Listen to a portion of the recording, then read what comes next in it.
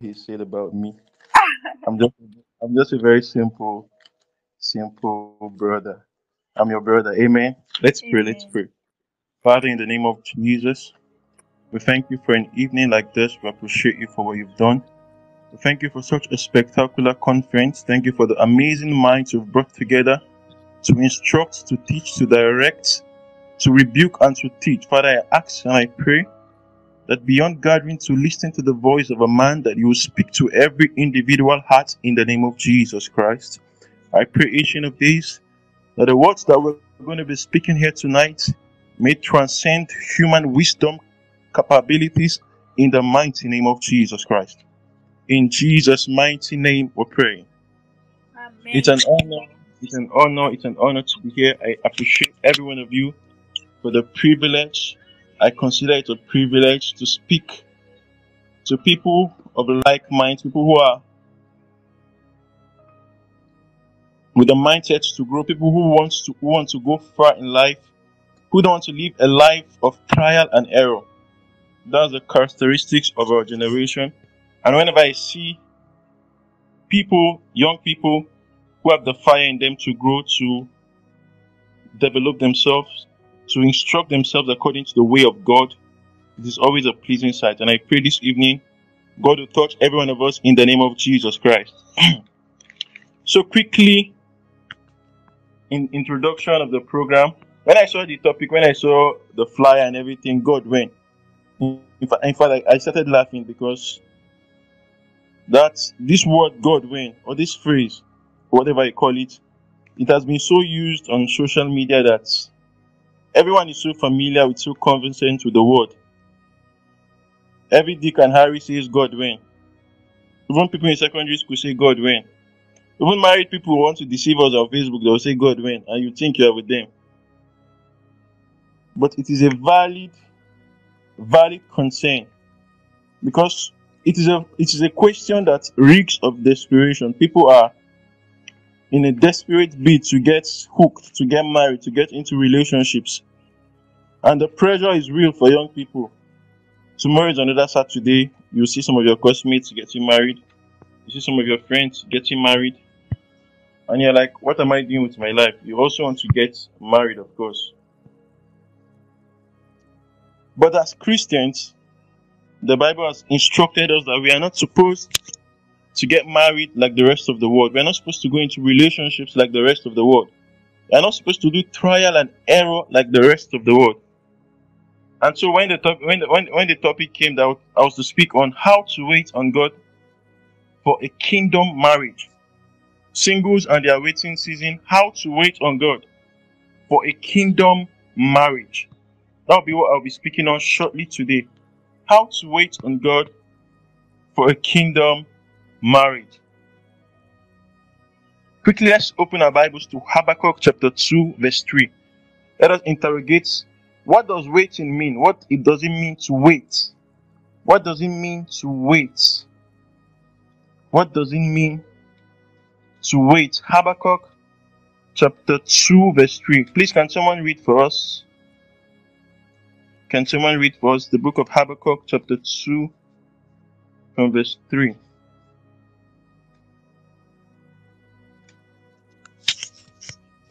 Amen.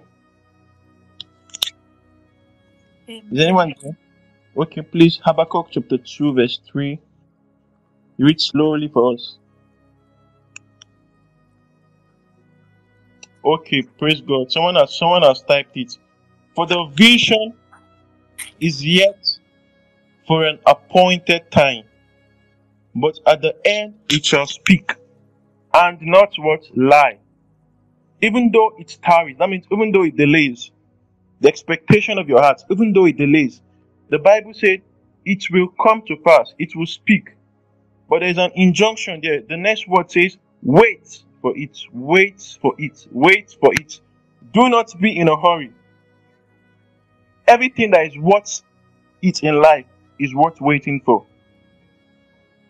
From the first day you step your feet into the university, everyone knows that okay, you are here for a degree. But uh, from day one, you don't go to the academic office and demand for your certificate. No, you wait for four years. You wait for five years. Thanks to us, You wait for seven years. You wait. You don't just walk to the VC and say, I've gained admission. I need employment quickly, so give me my certificate. They all know you came to the to school for your certificate. They all know you came here to get a paper that you use to better your life, but they don't give it to you at, the, at your matriculation. You have to wait for four years, for five years. So why are you in a hurry? God is trying to tell you, wait, let me pass you through this degree program of single. Let me take you through my own degree. So that at the end of this period, I will give you what is standard, what is meant, what is worthy of your life as a Christian. But a lot of people, they don't want to wait. They're in a rush and in a hurry to get into relationships. I pray God will help us in the name of Jesus. So, as we begin, what is a kingdom marriage? Remember, we said how to wait on God for a kingdom marriage. How to wait on God for a kingdom marriage. So, what is a kingdom marriage? A kingdom marriage is not is not another big word conjured to oppress singles. No, Every every Saturday, tomorrow you see people saying kingdom marriage, kingdom marriage. It's not a term of it is a legitimate term with scriptural backing. It is not as complex as you might have imagined it to be. Kingdom marriage is simply two Christians, a man and a woman, not man and man, not woman and woman, please. Kingdom marriage is simply two Christians accepting to model their marriage after Christ and his bride, which is the church. So when two Christians come together, remember two Christians, not a Yahoo boy and a slave queen, two Christians who have given themselves to God, come together to model their marriage. Not after Kanye West, not after Queen Elizabeth, not after Barack Obama, to model their marriage after Christ and his church. And if you have any idea what how Christ modeled his relationship with the church, it, you, you will not be in a hurry to get married. You will not be in a hurry to get married. Choosing to die for the church, that is the hallmark of the of, of the relationship Christ had with the church. And that is the model every Christian should aspire to. How many of you can die for that person that is giving you sleepless nights? How many of you? Then you are not ready for a kingdom marriage. How many of you can forsake everything, every single penny on it for that person that you, you are calling the love of my life? How many of you? But that is a model Christ has set. So if you, if, if you don't want a Christian marriage or a kingdom marriage, please don't tell God you're looking for a kingdom marriage. Just say you want to marry, finish. But if you are looking for a kingdom marriage, that must be modeled after Christ and His church. Let's move on. So, any marriage or relationship, because there are kingdom relationships, before you get to kingdom marriage, you get to kingdom relationships. So, any marriage or relationship that does not have this in mind as the vocal point will not represent a kingdom marriage. Today, we have so many kin- social media kingdom marriages, but in reality, they are not kingdom marriages. God does not look at them, He just sees them as one celebrity. So that is a kingdom marriage. And mind you, a kingdom marriage is not when your father in the Lord, your apostle, marries a popular minstrel. A lot of Christians these days, if someone from their local church get married, they don't target Christian kingdom marriage. But if an apostle that can speak in tongues on Facebook marries one powerful singer, they'll say, wow, kingdom marriage. No, that's not a kingdom marriage. A kingdom marriage, remember, two Christians deciding to model their marriage after Christ and his church. So it is not any church marriage that has lots of paparazzi. Okay, he bought her car, he surprised her with car. There were there were ten trumpeters and violinists. And the marriage was done in Europe. And the honeymoon was done in Dubai. And they were speaking in tongues and people were falling under the anointing. That is not kingdom marriage. It is simply any marriage that seeks to follow the blueprint laid down by Christ. So why is this whole noise, this rave about kingdom marriage? Why are we being particular about Christians having Christian marriages. Why? Kingdom marriages are needed, number one, for our society. Look at the rate of decay in the society. Look at the rate of killings in the society. Why? Children from dysfunctional homes. Pastors have children that are cultists. Pastors, general overseers have children that are serial killers. It is happening. Founders of churches have children that are atheists. It is happening. So why is it important to have a kingdom mind? Because of the society. Number two, because of the church, the bride of God. Look at what we have in the church today. Most churches is the our parents above 50 that are still keeping the fire. The young ones just wants to wear jeans and gown and high heel and sing and dance and go back home. Because they didn't they were not raised in that in that environment. So if you have a kingdom marriage, that's a reason to aspire to have a kingdom marriage because you want to raise godly children who go into society, who go into the church, and in your immediate family who will influence things for God. Amen. Praise God. And I believe we all aspire to kingdom marriages. Because if you are listening to me, and I believe you are still single. I don't think we have much married people here. So we are all single Pringles here. And I believe we can still get it right. We've not, we've not, it's not too late for us. It's not too late. It's not too late for us. So quickly, what is waiting? What is waiting? Remember, our topic is focusing on how to wait. How to wait. Since we have said, let us not be in a hurry. Let us not be in a hurry. How do we wait? The dictionary says to wait is to be in a state of readiness without doing so much because you are expecting something to happen. That means to wait is to be in a state of readiness without doing so much. That is, you minimize your own efforts until what you are expecting happens. Let me repeat it again. To be in a state of readiness without doing so much until what you are expecting happens. From this definition, three things stand out. Number one, we see that waiting is a verb, waiting is an action word. For the fact that we say you should wait does not mean, okay, you go home, fold your hands, and sleep off and say, okay, whenever God wants, God will send down a damsel for me as wife. No. If you have been told to wait, it's just as, as I told you earlier. If they tell you to wait for four years for your certificate, it does not mean go home and stop reading. It means go and do your part. When the time for certificate come, you will not be the one to pursue it. The school will call you and give you that certificate. So waiting needs you to stop what you have been doing and wait. Perhaps you are the brother that every Sunday next tomorrow you are waiting to to pursue three sisters after church. Or you are the sister that wants to sing with the best solo voice so that Brokunle from Ocean Unit will notice you again. Even though you have been doing it for the past three months and has not noticed you. Waiting means that you stop those fake taxes because they don't work. And number three, remember we from the definition we say it is until what you're expecting happens. So it is not waiting if you are not expecting anything. If you see a man by the corner, you say, What are you doing? You say, I'm waiting. The next question will be, What are you waiting for? Because waiting means that there's something in anticipation. You're expecting something. So that is waiting, waiting. That you are being told with does not mean idleness. It does not mean, okay, don't say hello to any sister again. If any sister enters your eye, you can still say hello. I give you the permission. But wait on God. Wait on God. Wait on God. Waiting is an action word. You don't wait by being laid back. You wait by being ready.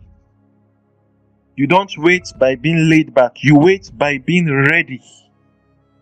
So that the moment the time comes, there are people who, after four years in the university, their last project, they fall sick or they travel or one thing happens and then they don't write it. That whole four years is has gone to waste. They have to wait for an extra year.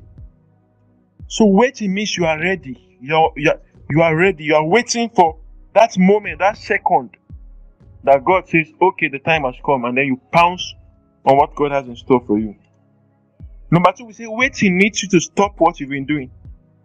Why? When you wait, you're acknowledging the limitation of your method and you accept to do away with it. Waiting means what? You accept that your former methods are limited. Your former methods are limited. So think of all the ways you've been trying to mingle before. All the your school fees you send it to Sister Juliet. Your food stuff you cook for brother Jonathan in school. Every evening you're cooking rice and chicken and giving bro Jonathan so that he will notice you. Every Friday you're buying suya and watermelon for Sister Christiana. And it has not been working. They've never returned your call.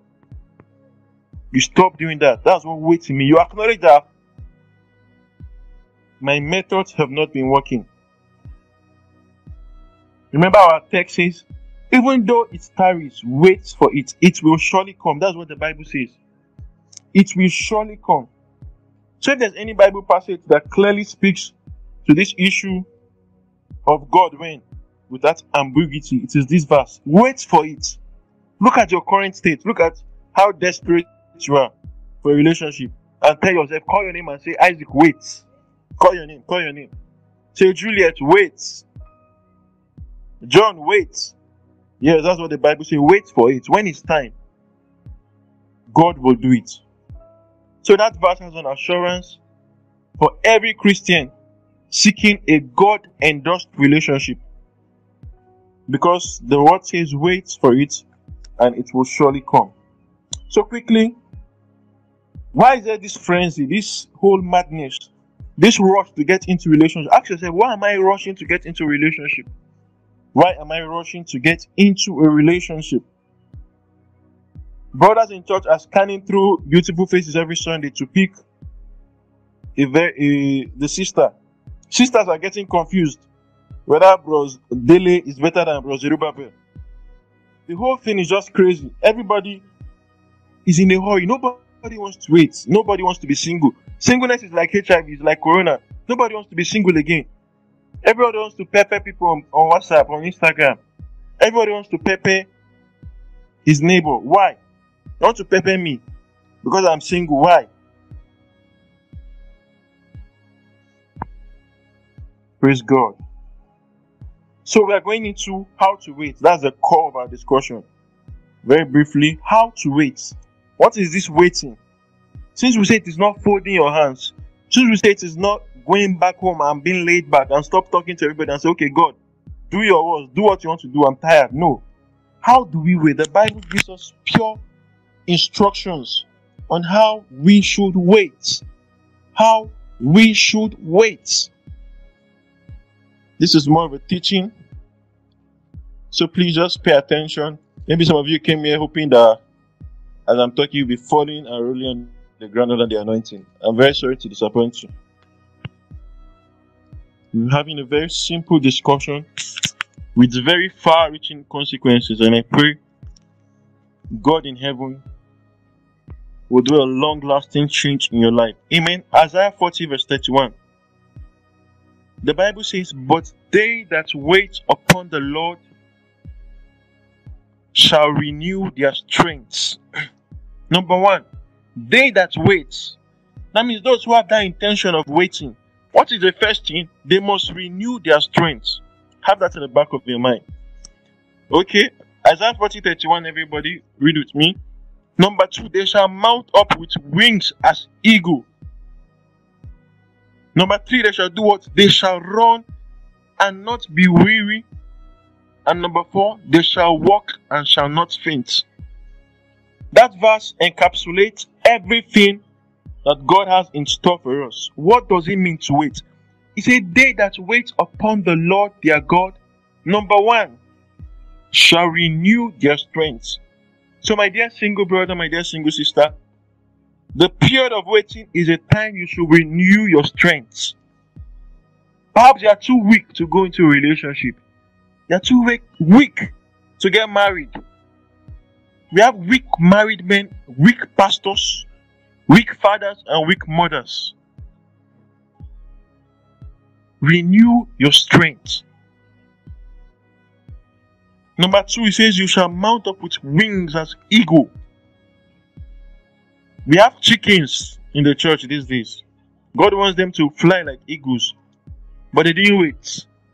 And so, while they were still limited, featherless, wingless, they rushed into marriage and they can't fly. So, they have dysfunctional homes today. So, how do you renew your strength? Remember, it says, They that wait on the Lord. So, after you have chosen to wait, the first thing you should seek is to do what? To renew your strength. You rush back to God and say, God, this kingdom marriage is far greater than I thought. It is of far reaching consequences than I imagined. So, number one, ability to withstand pain. That's how to renew your strength. Those are the things you should seek the face of God for. Number one, the ability to withstand pain. That's how you know men that have renewed their strength. Ability to withstand pain. That no matter what happens, they, you, you, you say you say so-called brother in church because a sister says no to his proposal, he backslides. Uh-uh. Why? He has not renewed his strength. He said, I'm, I'm not I'm, I'm not going to church again. I'm not singing again. Why? So as we are as you are waiting, have it at the back of your mind. That the ability to withstand pain is something that is innegotiable. You need to have it in your life. Number two, the ability to withstand disappointment. People will disappoint you. On your wedding day, the people that told you they'll, they'll contribute to 200,000 for you and bring 1 million, they say, Don't worry, we'll take care of refreshment. They'll disappoint you. The person say, Don't worry, don't worry. Uh-uh. We'll buy we'll bring car for you as wedding gift. They will disappoint you. In fact, there are people who have done traditional marriage and the, the girl still disappointed them. A week to white wedding. So your waiting period, build in you the ability to withstand disappointment. Number three, emotional intelligence. That's how you renew your strength. Emotional intelligence many men, most men, women, ladies, young men, singles don't have emotional intelligence. You don't know how to read emotions. You don't know how to talk. Relationship is not for everybody. Relationship is not for everybody. Number four, ability to make decisions and accurate judgments. So remember four things under renewal strength. Number one, ability to withstand pain. Number two, the ability to handle disappointment. Number three, emotional intelligence. Number four, ability to make decisions. If you hope to be a father in this life, you must have the ability to make decisions. It is innegotiable. Ability to make decisions. So go back to the verse. What is the next word there? They shall mount up with wings as eagle. Which I say it is the same thing as what growing capacity. Capacity. That's what it means to grow wings. You grow capacity. So under growing capacity, what areas do you need to grow capacity for? Or just a fresh young guy, you are 25, you are 26, you are 27. Or you're a lady, you are 26, 25. Fresh out of school, fresh as a graduate, and you want to rush into marriage. What do you have to offer? How much is your bank account? Some people say that's a carnal discussion. What do you mean by I'm going to have in my bank account? I'm trusting in Jehovah Jireh, the God our provider. That's a very funny take. In your waiting period, that's when you need to build your finances. That's how to wait. If you don't build finances, when God says, okay, the time is now, and the lady's family asks you, so how much do you have to finance the wedding? You say, I'm trusting God that I have just 30,000 in my account. They will release dog to pursue you from the house. So that's how to grow capacity. Number one, finance. Very, very important. Anybody that tells you finance is not important is lying for you. If that sister that is doing night call with you every night and uh, exchanging love with you and say, I love you, I love you. When one brother will come with money, she will block your number. That's the truth. Young men take notes financially. Financially, grow capacity. Number two, develop your skills.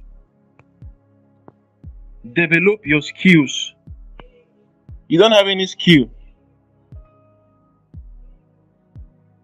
And you're not positioning yourself to earn better. You are a young man in the 21st century. You cannot use Microsoft Word. You cannot use Microsoft Excel. You don't know a thing about graphic design. You don't know a thing about marketing. You don't know a thing about taking online courses. Nothing. Hmm. they will break your hearts. You can write it down. Write it at the back of your journal. I promise you, this year they will break your heart. So when I say you should grow capacity, I mean financially grow capacity. Uh-uh. You want to marry, you have 50,000. Which person's daughter do you want to marry? so please remember, grow capacity financially, develop your skills, and position yourself to earn better. Yes. Money is needed even for kingdom marriages. It's not speaking in tongues. When you speak in tongues, time to serve refreshment, you will not give us tongues. Want to take mineral. So please develop yourself. Number two, develop yourself spiritually. You can have all the money in the world. You can have all the skills in the world. You can have the greatest jobs in the world. But if you don't develop yourself spiritually, I'm telling you, your marriage will fail. I know some of you are happy now because you are good in this one. You can speak in tongues. Yes, yes. This is my my friend go and make money. But seriously, spiritually, you need to pray yourself into that capacity. We have men these days, shameful men. That their child is sick, they, they, they rush and go and call mommy junior. Come and pray for him. Come and pray for him. You are a disgrace. You are the priest of your home as a as a kingdom man. You are the priest. So if your wife is taking that position, you are a shame. Number three way to grow capacity is influence. Influence. Number one, I say finance. Number two, I say spiritually. Number three, I say influence. The waiting period is when you should build a system that commands influence. Some of you don't have influence. You don't have up to you. You cannot. You, you cannot influence up to three people. You don't have three people in your in your community that you can influence. You don't have people that look up to you. People who, who, who are emboldened by your life. No, you don't have them. So be it career, be it in your church, develop influence. An area where people can look up to you. That's how you know someone who is waiting. Someone who is in the waiting room of the Lord. That's what it looks like. Number four, insights. Remember, we're talking about the eagle. How to grow wings as an eagle. Capacity. Number four, insight. If you know much about eagles, you know that an eagle can see a rat from as high as you can imagine. The vision of an eagle is unmatched in this world. So, as a man, as a lady, as a single brother, single sister, waiting in this waiting room of the Lord, you must have insights. An eagle sees with frightening accuracy from high up in the sky. A single person should develop such insight at such a period. How do you do that? You read books. When last did you read a book? You're not reading books. You're only on Insta blog. You're only on Gist Lover. Looking for how this celebrity slapped that celebrity. You are joking. Attend programs. Engage in stimulating conversations. It's not every time you're talking about how uh, Bro Philip wore red tie and yellow trousers and brown belts. No engage in intellectual conversations. That's how to build yourself. So that when you go to visit your fa- your, your father-in-law a week to your wedding and say, "Hi, I heard about so so and so event," you say, "Kai," you say, "Kai," or more. That's all you can say because you don't know anything about what he's saying. God will help you. Number five. Amen. Let's go back to the verse. It says, They that wait upon the Lord shall renew their strength. They shall mount up with wings as eagle. And they shall run and not be weary. They shall walk and not faint. That's endurance. So first, we said renew strength. Second, we say to grow capacity. And third, we say endurance. These are the three areas you need to round up yourself on when you are waiting. Endurance. How to walk without fainting.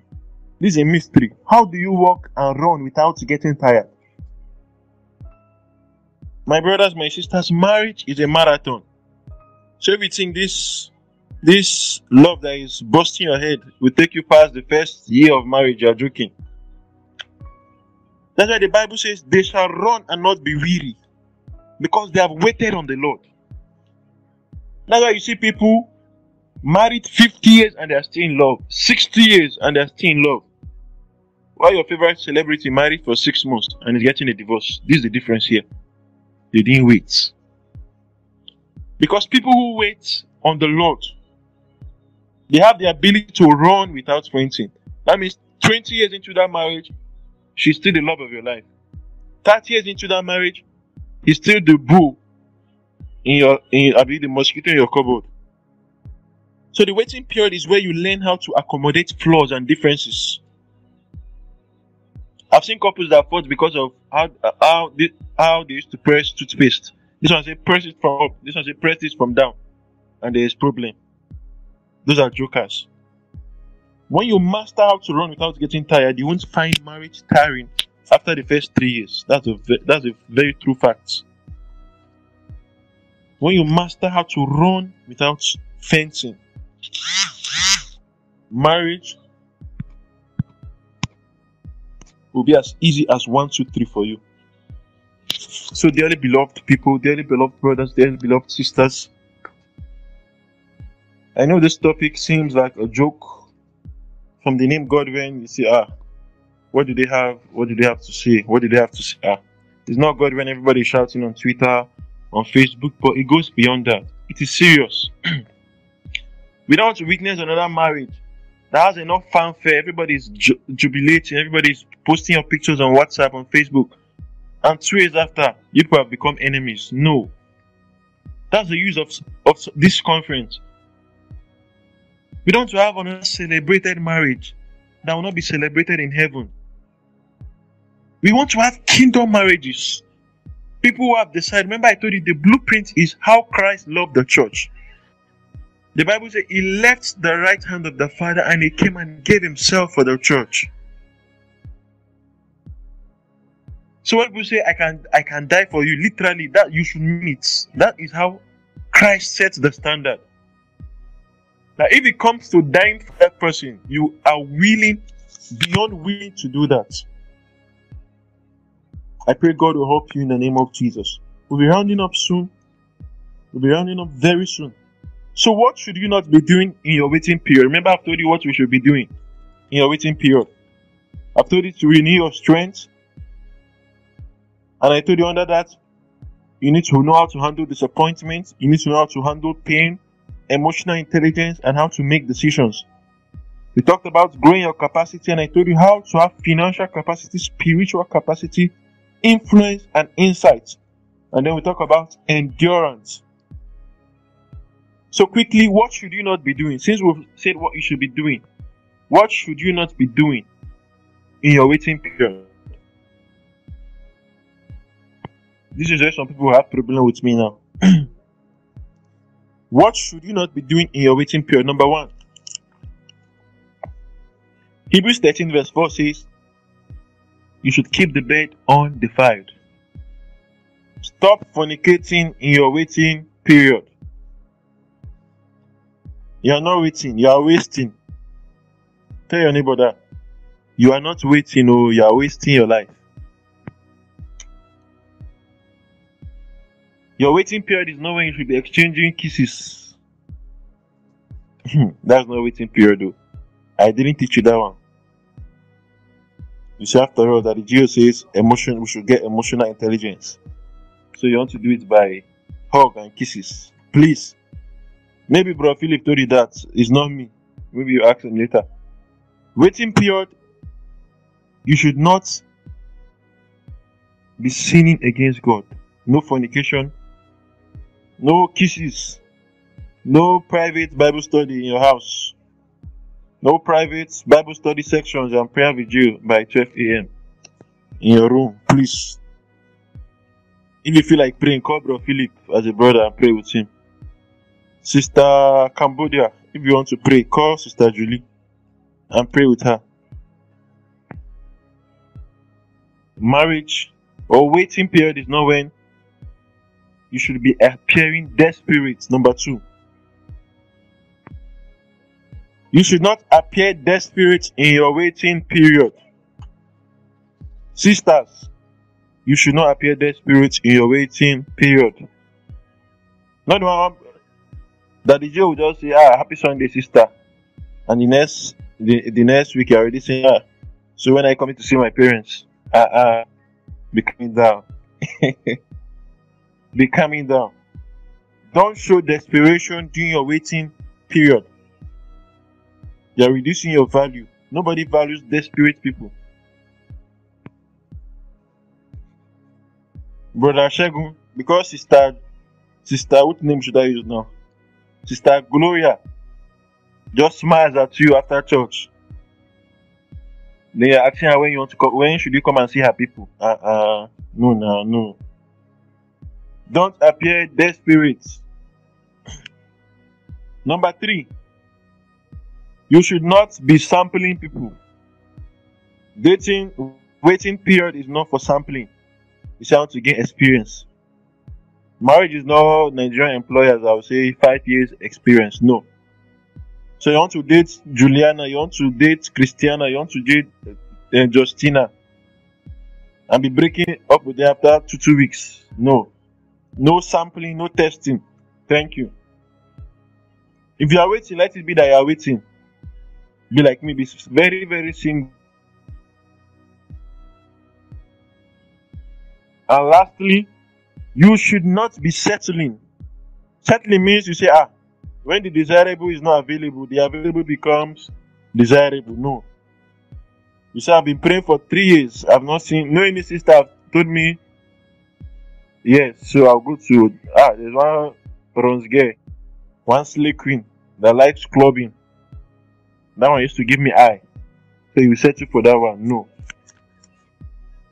Or you say, Kai, all these brothers in my church, they don't used to see me very well.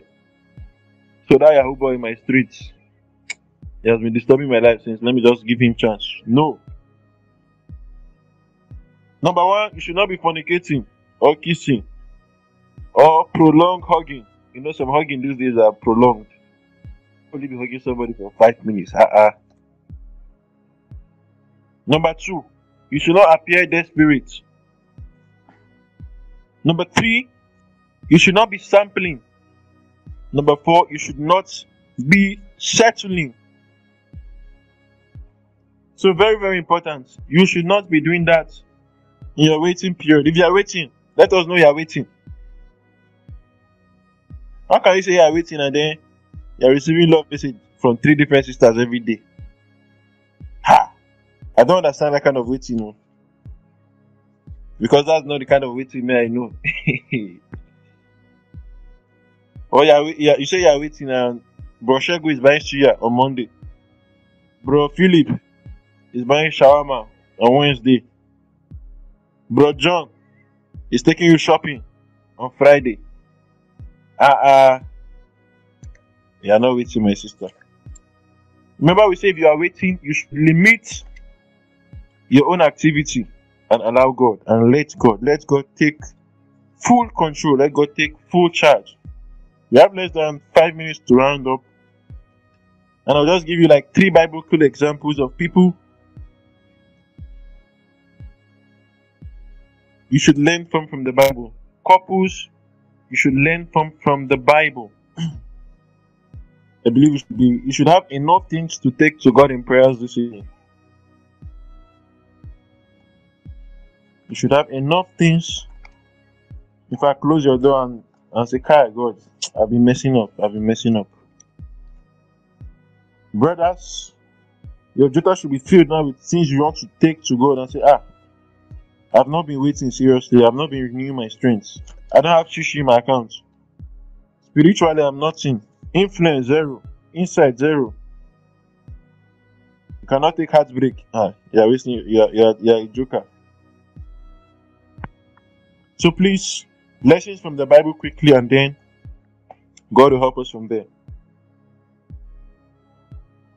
So let's look at Abraham and Sarah. Abraham and Sarah. If you look at their marriage very well, you know that ah, a kingdom marriage is not married marrying your childhood friend or are from the same village. Abraham and Sarah were related.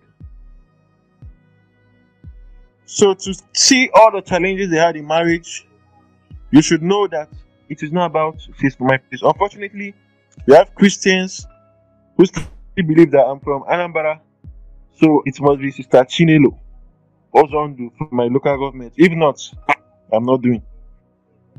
Abraham married Sarah, and it was Sarah that advised him to go and get a side chick.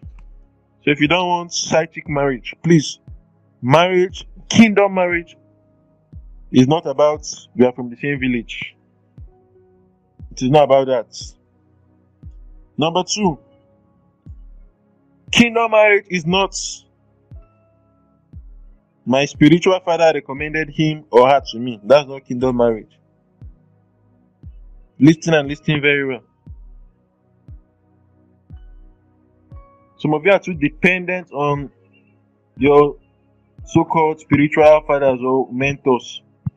That if they don't recommend that person, then you say, God, the person is not for you. Even if God tells you for you, because of what someone else says, you say no. Take a look at Isaac and Rebecca from the Bible. It was his father himself that recommended Rebecca for him. They brought her, they said, I go to so so and so family. He sent Abraham sent a servant. They handpicked her specially for Isaac. And if you look at their marriage closely, you know that that was not a kingdom marriage. In fact, Rebecca was the one that caused the home to break up by what she did to Jacob and Esau. So, kingdom marriage is about your spiritual father recommending someone for you. It is God recommending someone for you. And lastly, kingdom marriage is not about how long you suffered to get her.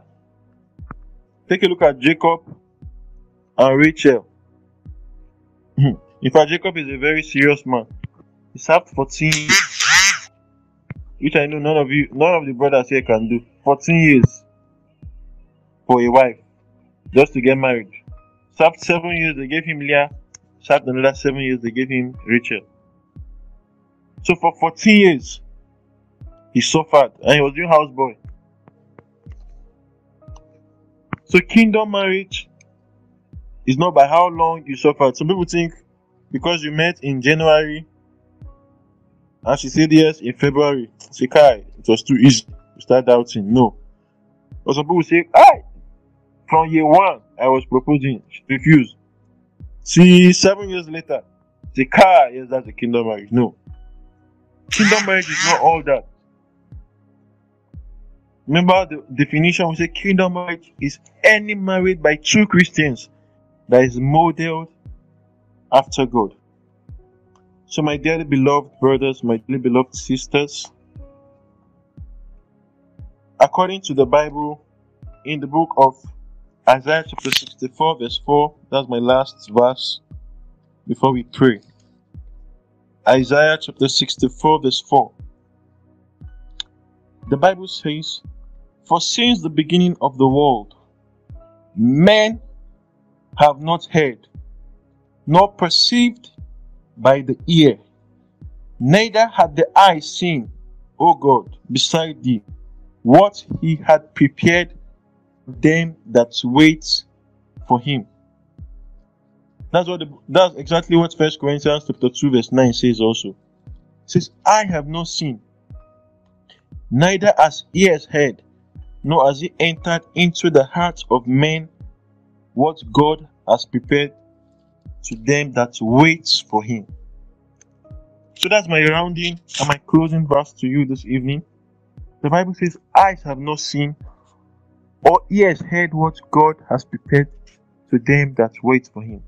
So please, my beloved brother, beloved sister, wait for God.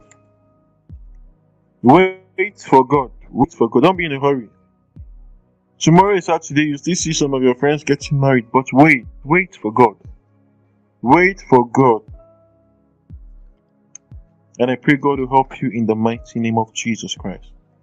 Let's just close our eyes as we go to the Lord in prayer this evening.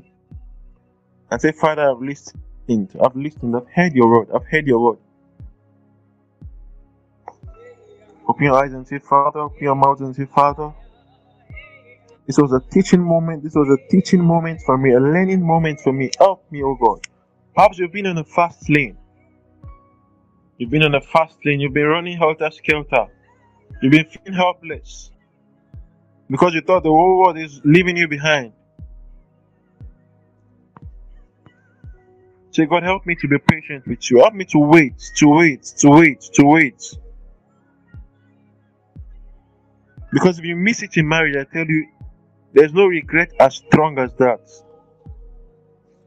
If you miss it in marriage, ah, you live the rest of your life in pain. Perhaps what you've been yearning for was a celebrity marriage. You say, ah, I want you to be trending all over Facebook. Did I get married? Disabuse your mind from that this evening. Perhaps what you've been looking for is you want to marry a popular man of God. Disabuse your mind from that this evening. Perhaps what you've been looking for is I want to, I want to, I want to get married to this very beautiful sister so that ah, everybody will say, ah, I'm very fortunate. No. Disabuse your mind. Marriage is serious business. God takes marriage as serious business. Marriage is the first institution that God created on earth. Immediately after creation, he instituted marriage. That's to show you the gravity of marriage. So if you are single today, it's still a blessing. Don't be in a hurry. Wait. Wait for God. Wait for God. Wait for God. Say, God, help me to wait for you. Hmm. Help me to wait for you. Help me to wait for you. Help me to wait for you. Remember, the topic is how to wait. How to wait. Perhaps you have no idea how to wait. But tonight, God has taught us that to wait is to ask for strength. It's not to go back and lie down on your bed. No. It's to say, God, I'm helpless. I don't have strength. How can I go into this institution without strength? Renew my strength. We've learned that to wait is to get renewed capacity. Is to build capacity like the eagle to grow wings like the eagle, to fly like the eagle. Perhaps you've not been flying, you've never flown before. This is the time to say, Father, teach me how to fly. Teach me how to fly. Let me build capacity in my finances. Let me build capacity. In every aspect of my life, may I build capacity, oh God. Perhaps you don't have what it takes to endure pain, what it takes to endure break, what it takes to endure difficulties, to endure roadblocks along the way. Say, Oh God, make me ready, make me ready, make me ready.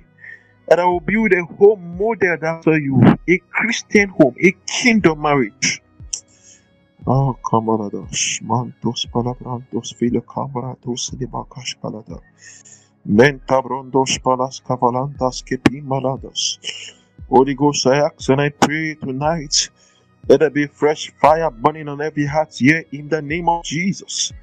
Manta cabredos fantas kamico bredes librodos copranda cadabadas. Mentos revedi cobrenda manus capenda palada shente quebrados palanda yada. Me fondo brundos pala comberi pranda nomus mala conde. I pray, Holy Ghost, mentus papuntus parianda cascavandali, ikumalande bukumbrianus palada. Upon every heart here of listening to my voice, oh God, I pray.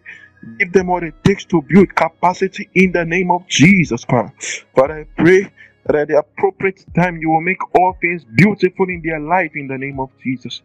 Thank you, Spirit of the living God. In Jesus' mighty name, pray. Amen. Thank you very much for the opportunity to speak to you. I'm grateful and I hope in my own little way I've been a blessing to you. Thank you so much. I look forward to speaking to you some other time. I pray God will help us, God will keep us. Every area that needs to be instructed, that needs to be corrected, God will help us to implement those corrections in the name of Jesus. Amen.